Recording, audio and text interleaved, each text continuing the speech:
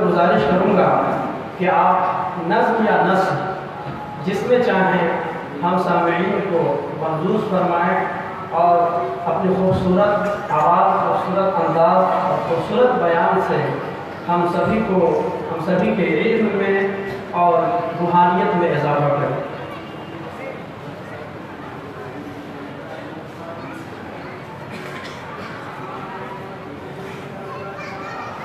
السلام علیکم ورحمۃ اللہ وبرکاتہ۔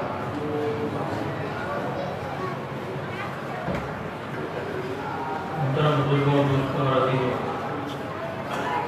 میں کچھ کہنے سے پہلے نعت پاک کے چند اشعار بارگاہ خالی صلی اللہ علیہ وسلم میں پیش کرنے کی بات چاہتا ہوں آپ حضرات سے گزارش ہے کہ نعت پاک کو سننے سے پہلے پہلے پاک کا نظرانہ پیش کریں۔ اللہ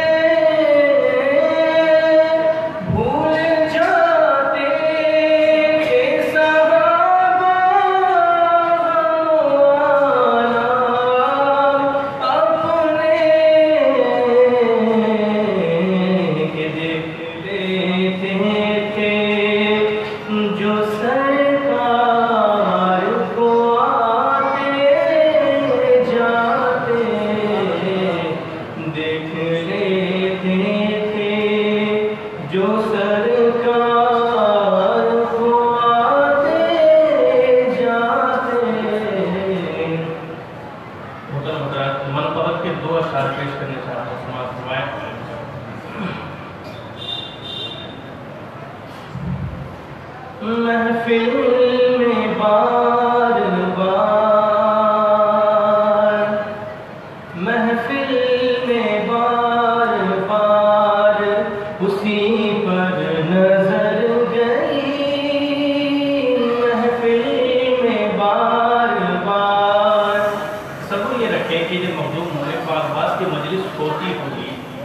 اور جب آپ کی محفل میں سامعین اور مریدین، معتقدین بیٹھے ہوں گے، تو ان کی نظریں آپ کے رخسار پر اور آپ کے چہرے پر کس طرح ٹکی ہوئی ہوتی تھی؟ اور کیسے آپ کو ٹکی باندھ کر دیکھا کرتے تھے؟ آپ کے مریدین، معتقدین دیکھنے والے جب ایک مرتبہ دیکھتے، کہیں نظر دوبارہ دوسری طرف ہٹتی ہی نہیں یہ تصور ذہن میں رکھ کے اس کلام کو سنیں۔ محفل میں بار بار اسی پر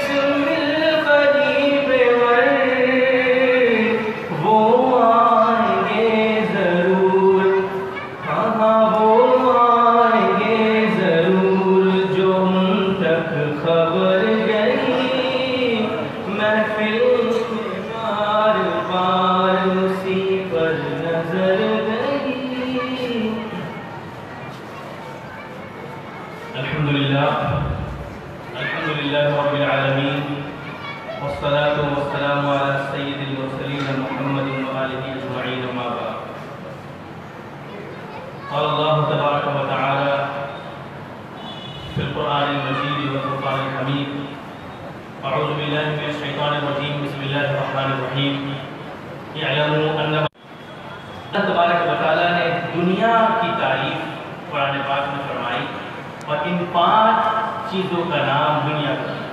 فرمایا کہ ان پانچ چیزوں کا نام دنیا ہے۔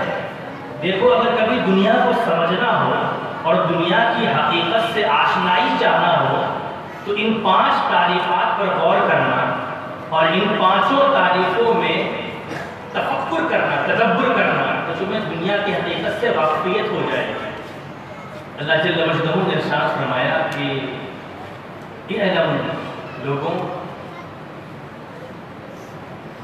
جان لو کہ بے شک دنیا کھیل ہے اور تماشا ہے۔ ہم جو یہاں حاضر آئے ہیں، تاکہ اپنے کشکول میں، اپنے کشکول گدائی میں کچھ در شہوار جمع کر لیں اور سرکار کے فیض اور ان کی کرم اور نوازشوں اور عنایت اور ان کی جو عنایت ہے اور ان کی نظر کرم ہم سب پہ پڑ جائے۔ تاکہ ہم سب کی عاقبت بخیر ہو جائے۔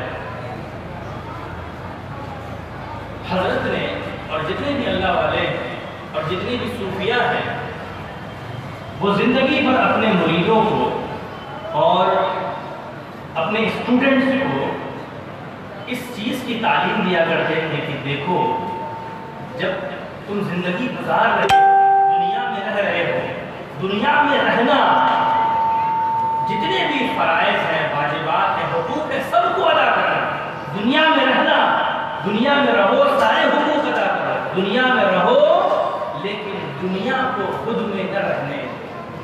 دنیا کو خود سے الگ کر دو قرآن پاک نے دنیا کی تعریف اسی طریقے سے کی ہے کہ ویسی تعریف پورے کائنات میں کوئی نہیں کر سکتا۔ فرمایا کہ دیکھو، دنیا نام کھیل کا ہے اور تماشے کا ہے۔ اور کیا فرمایا اللہ نے؟ انما الحیات الدنیا لعب و لہو و بینکم دنیا جو ہے، وہ زیب و زینت کی چیز ہے۔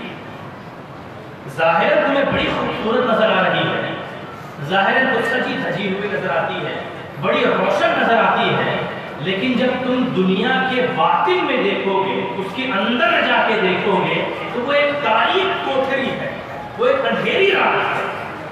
جہاں روشنی کا کوئی ایسا پتہ نہیں۔ ظاہر کو خوبصورت نظر آتی ہے تو کبھی اس کی ظاہری خوبصورتی میں نہ پڑنا اور کبھی کھیل تماشے میں ملوث نہ ہو جانا کہ آخرت کی طلب اور آخرت کی فکر سے بے رغبت ہو جاؤ۔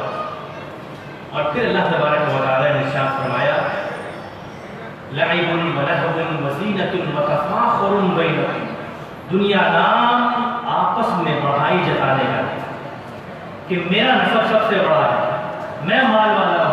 میرا خاندان بڑا ہے، میں عالی نسب والا ہوں، اس چیز کا نام ہے۔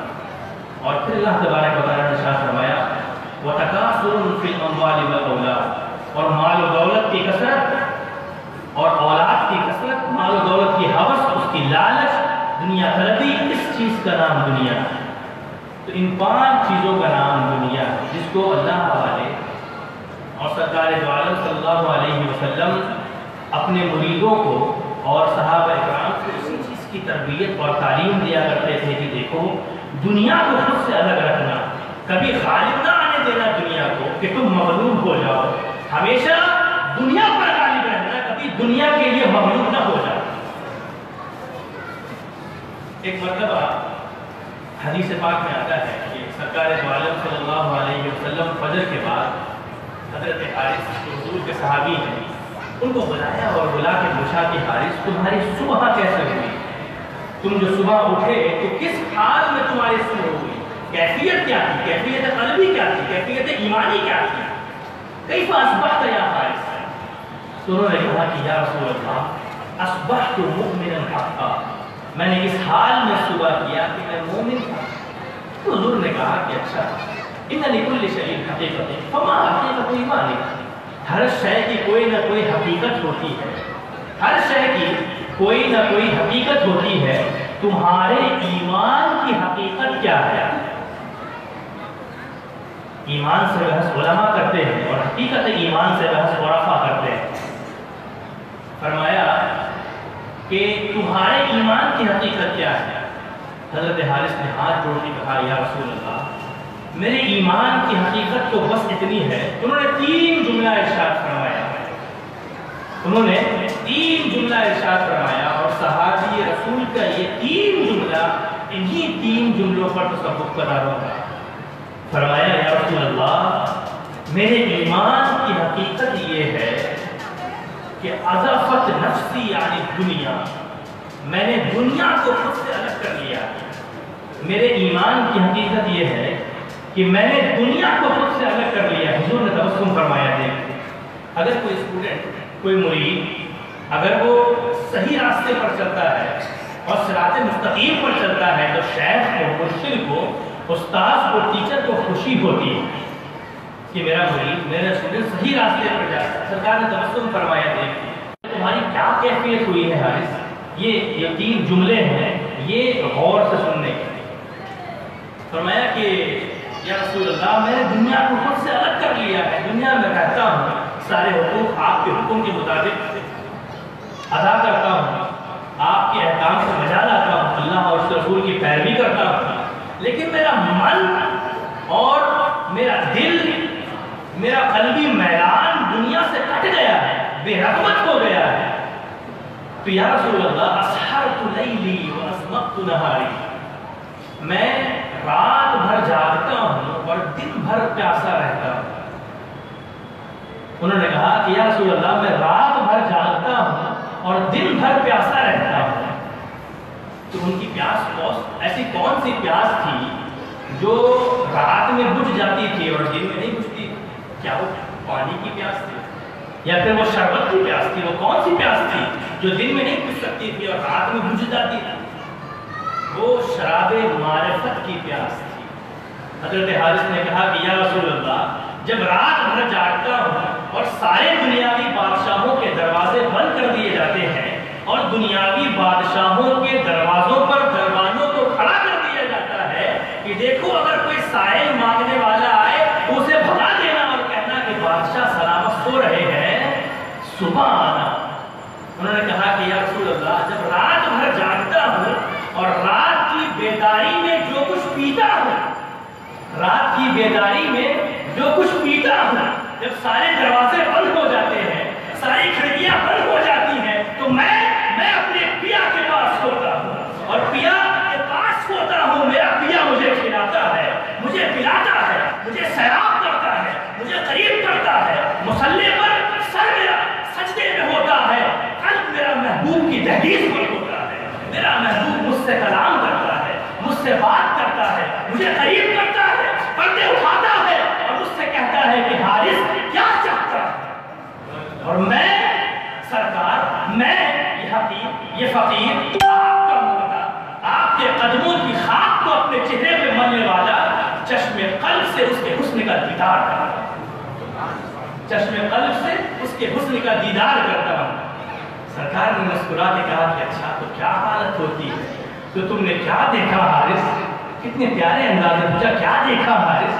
فرمایا، فَقَأَنِّي أَنظُرُ عَرْشَ رَبِّي بَارِسًا یا رسول اللہ، جب یہ کیفیت ہوتی ہے، تو میں عرش الہی بے نقاب دیکھتا لوگوں کے لیے تو اللہ کے دیدار کا دعویٰ قیامت کے دن ہے۔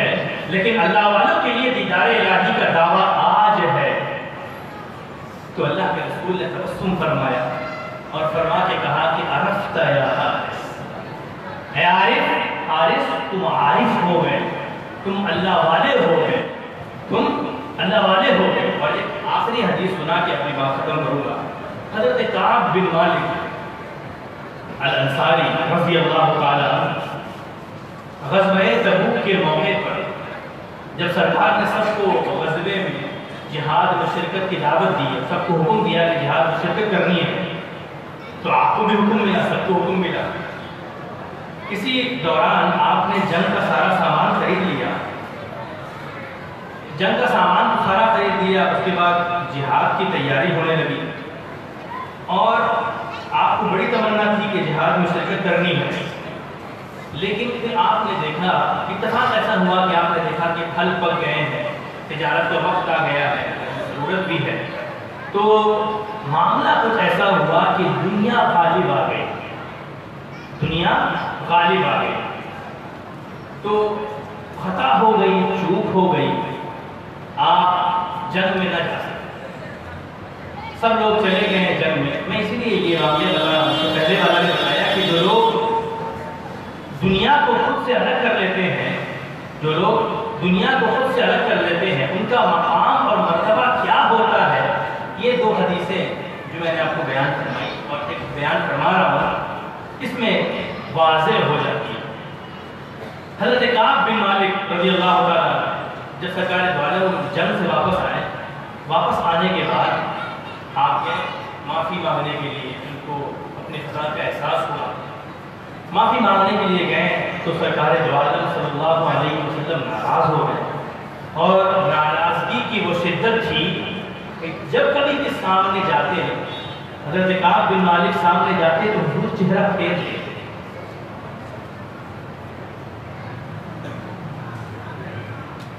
جب کبھی بھی سامنے جاتے ہیں، حضور چہرہ پھیر لیتے اور حضور نے اس پر، حضور اس قدر ناراض ہوئے کہ سارے مدینے والوں کو سے ترک تعلق کر لو قطع تعلق کر لو بات چیت بند کر لو پھر ایک وقت ایسا آیا کہ حکم دیا کہ دیکھو، کعب کے گھر والوں کو بھی کہہ دو کہ اس سے بات نہ کرے بال بچوں کو یہ حکم دے دو بیوی کو یہ بتا دو کہ کوئی اس سے بات کر ترک تعلق کر لے بچے باپ کو دیکھتے تھے، ان کی زوجہ ان کو دیکھتی تھی، لیکن عمل رسول کی ادب میں اور اس کی اتباع میں کسی کو ضرورت نہیں ہوتی تھی کہ بات کرے۔ یہ معاملہ ہو گیا۔ مخدوم جہاں نے بڑے پیارے انداز میں ولیوں کی صفت بیان فرمائی ہے اور کہا کہ ارے، ولیوں کی صفت کے بارے میں تم کیا جاننا؟ اولیاء وہ ہوتے ہیں جن کے مقام اور مرتبے کے بارے میں جبرائیل اور میکائیل تک کو خبر نہیں ہوتی ہے۔ مخدوم جہاں نے عبد اللہ سلیم ارشاد کہتے ہیں کہ اللہ والے مخدوم کے نظارے میں اس قدر محب ہوتے ہیں، مخدوم کے نظارے میں نظارے میں یار کے نظارے میں، محبوب حقیقی کے نظارے میں اس قدر محب ہوتے ہیں کہ ان کو اپنی خدمت یاد نہیں رہتی۔ وہ یہ نہیں کہتے کہ میں نے اتنا کام کیا اسلام کے لیے، میں نے یہ کیا، میں نے وہ خدمت کی، مجھے یہ سلا ملا۔ نہیں، وہ کہتے ہیں کہ اگر محبوب ہی راضی نہیں ہے تو خدمت کس کام کی؟ وہ کہتے ہیں کہ خدمت اسی وقت میری قبول اور کام کی ہوگی جب اس خدمت سے میرا مخدوم راضی ہو جائے۔ گا اور مخدوم جہاں نے ارشاد فرمایا کہ وہ مخدوم کے نظارے میں اس قدر محب ہوتے ہیں کہ ان کو اپنی خدمت یاد نہیں رہتی اور لطف دوست کے